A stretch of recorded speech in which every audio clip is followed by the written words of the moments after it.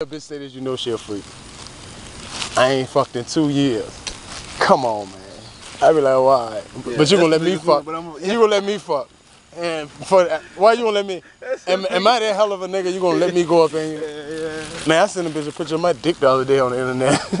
Straight up. I text that bitch a picture of the monster.